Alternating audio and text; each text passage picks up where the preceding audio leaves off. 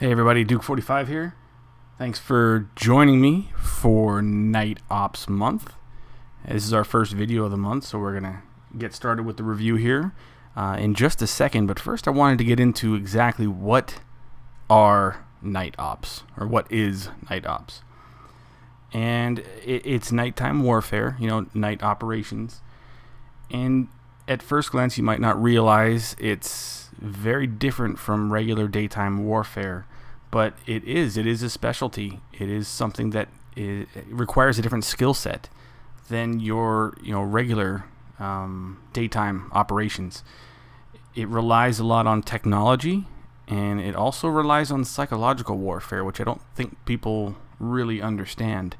Um, the absence of light and, and this comes from many of the you know commanding officers that I was reading about um, say that when when it's dark, the lights go out, the loss of of vision, it changes a soldier's psychological state. Um, instinctively, fear kicks in immediately.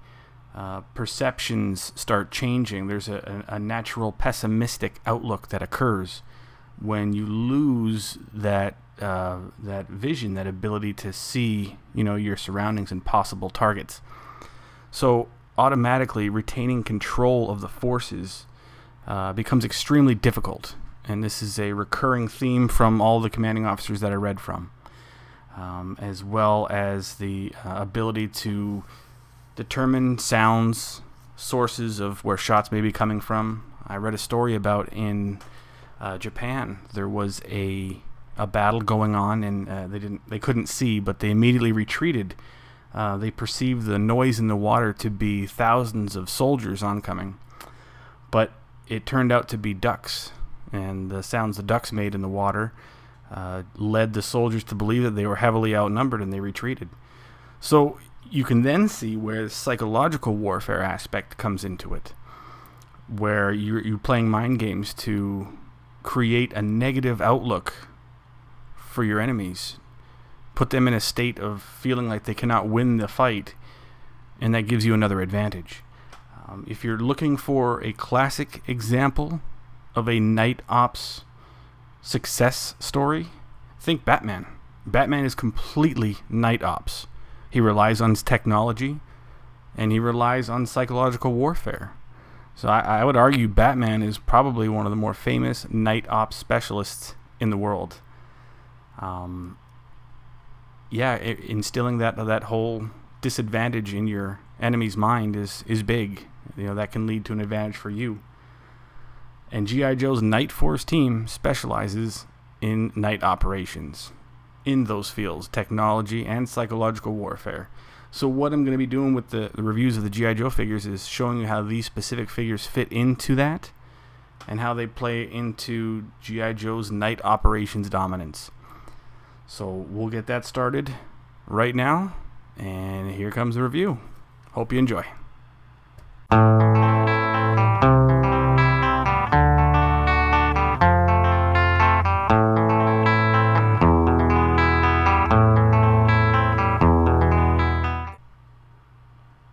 All right, here is Muskrat, G.I. Joe's swamp fighter, and a jungle warfare specialist. He is part of Night Force, and his function with Night Force is specifically swamp fighting and jungle warfare. Uh, that may not seem like a big deal, but to have those specialties, then you've been trained on relying on other senses aside from sight. You know, in the jungle and in the swamp, you have to be able to hear, you know, feel, and, and even use your sense of smell to put you out of danger or help track down people who you might be looking for. With that function, Muskrat has the ability to help his teammates and help himself.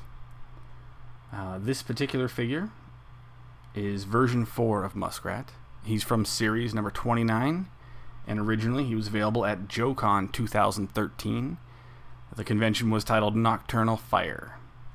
Um, he's based on the version 2 of Muskrat from 1989, which was also a Night Force figure. Um, Night Force was a Toys R Us exclusive, and basically Um, the our Toys R Us got the figures from 1988 and slapped darker colors on them, branded them Night Force, and that's how we ended up with the Night Force sub team. Um, let's take a look at Muskrat's file card to give you a little bit better description of the man himself. All right, Muskrat. File name Ross A. Williams. Primary military specialty infantry.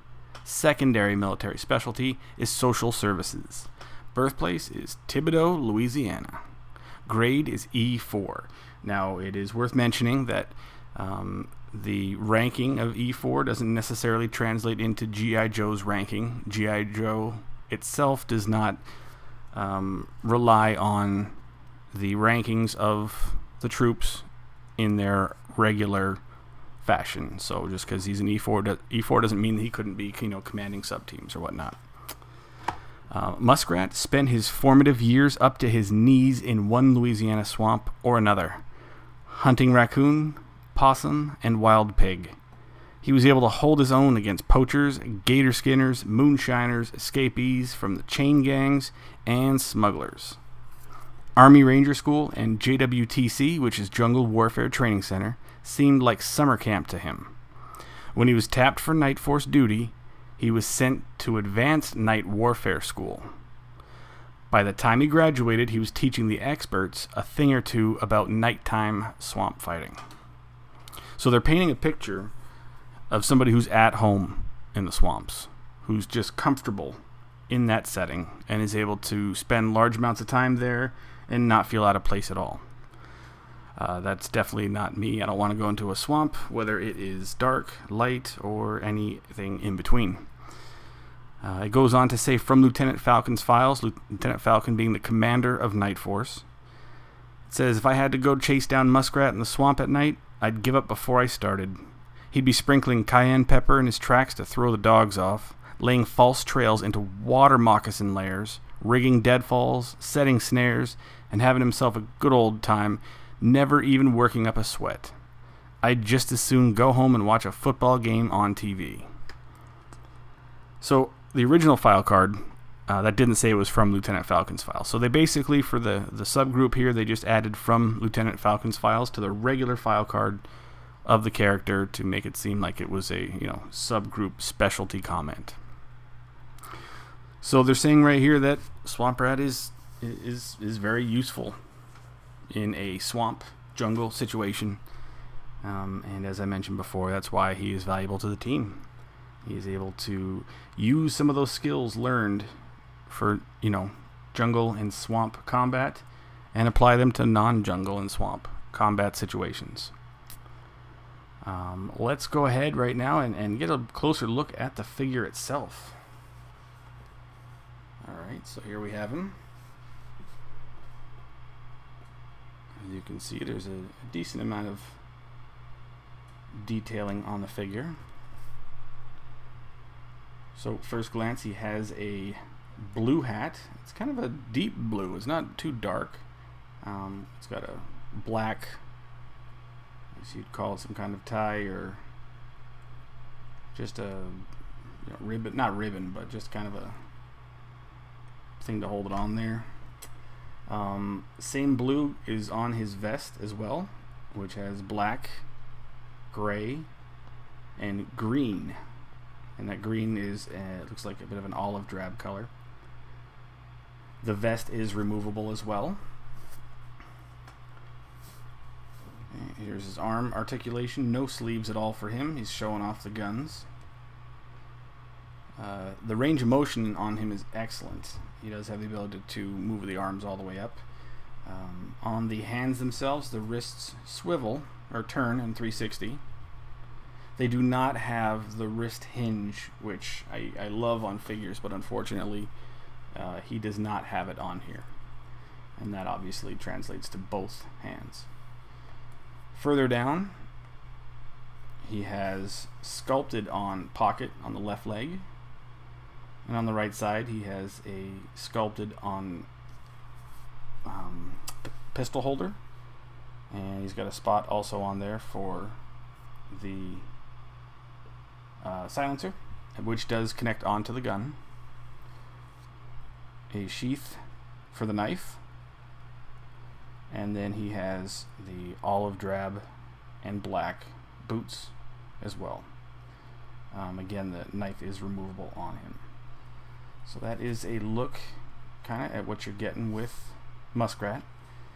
Um, there is something I do want to point out here, which is, is worth mention.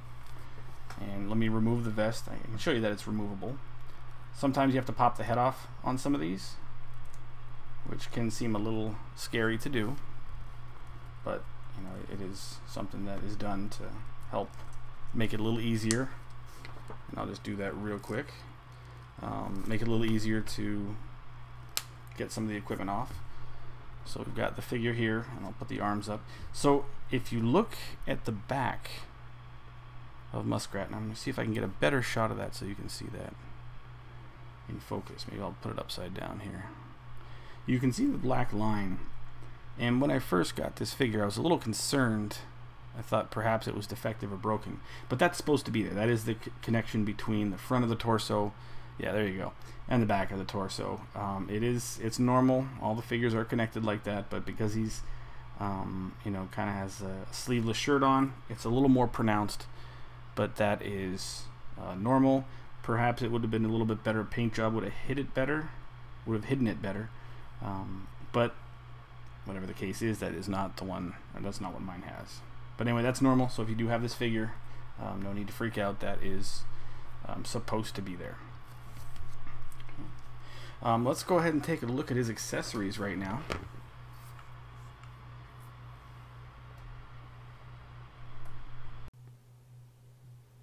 So let's have a look at the accessories that Muskrat comes with.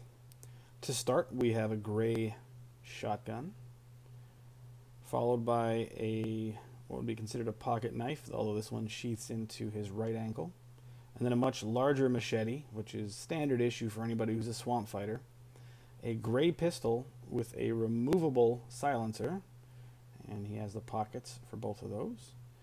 Um, a blue boonie hat, or giggle hat, depending on whichever you like to call it. And then this pretty cool looking blue vest that has the olive drab accents to it. Um, I don't know, it's a really good color combination. I really like it. That's the gear he comes with. So uh, let's get him all geared up and show you what he looks like when he's ready for action. All right, so here is Muskrat, all geared up. And the nice thing about him is that he does hold his weapons. All the weapons he came with, all the accessories he came with, he's got them right now. Um, his hands do hold them nicely.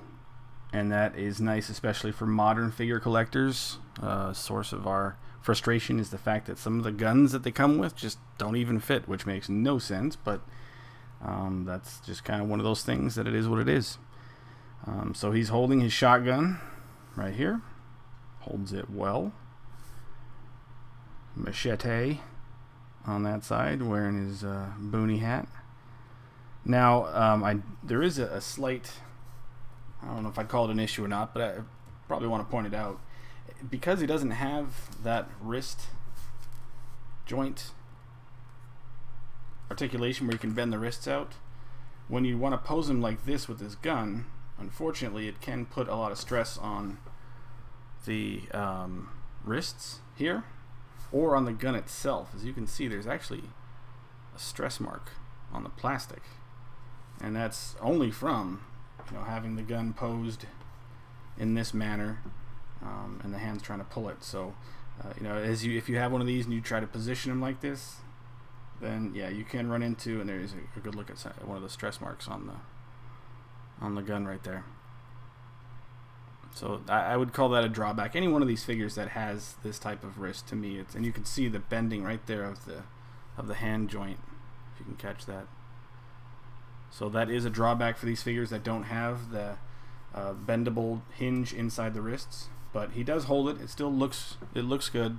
But for me, you know, for, for posing him like this, I really don't want to put any extra stress on the figure or the accessories. So that that is a drawback for me. Um, another thing I, I, I kind of failed to mention was the, the head articulation. It does go in a full 360, but it suffers from only slight up and down. Now it does have some up and down, which is better than you know, some of the other figures, but it's only slight up and down. Um, holds the machete, fine, no problem on that.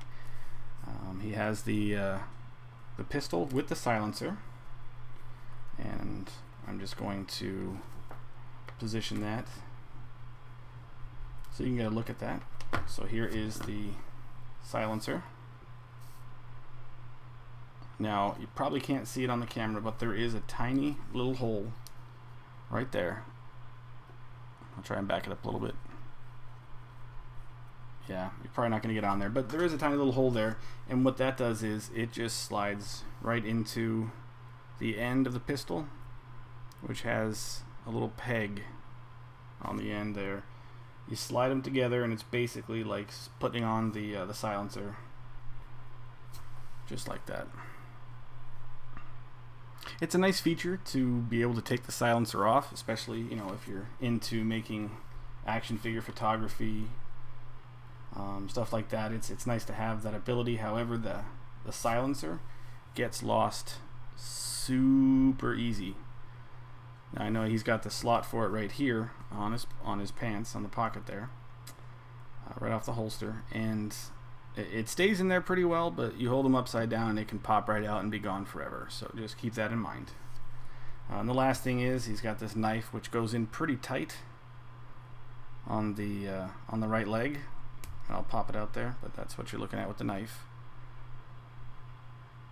Just a I don't know if I'd call it a Bowie knife, but it's it doesn't have any you know serrated edges, but it's just a knife, whatever the case is. Um, and then the hat, it doesn't jam on, but it you know it can stay on pretty well. It's a good look though. I, I would much rather it be a removable removable hat than have it fixed on there. So um, even though it doesn't jam on there, you know I'm okay with that. But that's okay because sometimes you know if the hat goes on too tight, it can mess with the paint. So. Um, all right, so with that and all the gear that we've seen, why don't we take a look at uh, Muskrat in action and see uh, see what that looks like.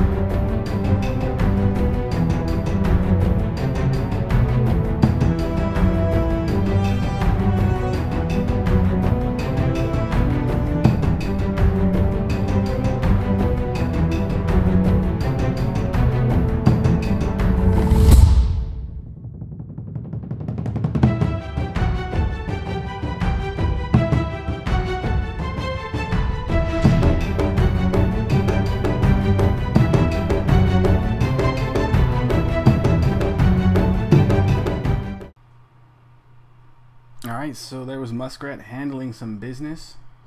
Um, if you want to buy this figure, you can find him on eBay. He's not too hard to find, but he is not cheap. Um, I haven't seen him these days anyway, uh, you know, as of October 2018. Um, I haven't really seen him for less than 50. Um, if you are interested in this figure and you see him for less than 50, that's, that's that would be less than the current going rate for him. Um, I also probably wouldn't recommend spending over 70 because it, you can certainly find it for less than that. So if you are interested in this figure, you might just need a little bit of patience, but you should be able to get them for a relatively uh, decent price. Um, so uh, let's go ahead and I'll, I'll give you the final grade here for Muskrat.